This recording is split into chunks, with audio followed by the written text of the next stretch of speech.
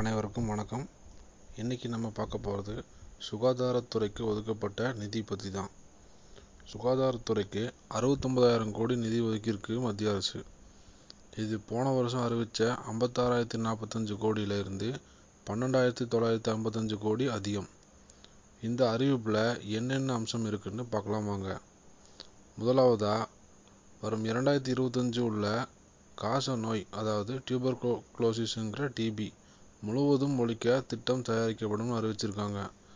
இரண்டாவதாக ஒவ்வொரு மாவட்டத்திலையும் பிரைவேட் ஹாஸ்பிட்டல்ஸ் மற்றும் மெடிக்கல் காலேஜஸை இணைக்கப்படும் அறிவிக்கப்பட்டிருக்கு. இதனால் மருத்துவர்கள் பற்றாக்குறை இருக்காதுன்னு சொல்லப்படுது. மூன்றாவதாக ப்ரொஃபஸர்ஸ் மற்றும் நர்சஸ்க்கு ஸ்கில் டெவலப்மெண்ட் ட்ரைனிங் தரப்படும்னு சொல்லியிருக்காங்க எண்பத்தி ரெண்டு புது மெடிக்கல் காலேஜஸ் ஆரம்பிக்கப்படும்னு போன பட்ஜெட்டில் கவர்மெண்ட் அறிவிச்சிருக்குங்கிறது குறிப்பிடத்தக்கது. நாலாவதாக ஸ்வச் பாரத் திட்டத்துக்காக பன்னெண்டாயிரத்தி முந்நூறு கோடி ஒதுக்கப்பட்டிருக்கு. அஞ்சாவதாக ஆயுஷ்மான் பாரத் என்கிற அரசு மருத்துவ காப்பீடு திட்டத்துக்கு பன்னெண்டாயிரத்தி முந்நூறு கோடி அறிவிக்கப்பட்டிருக்கு. செய்தி சுருக்கங்களை உடனுக்குடன் தெரிந்து கொள்ள தமிழ் நியூஸ் லாக்ஸ் சேனலில் சப்ஸ்கிரைப் பண்ணுங்கள்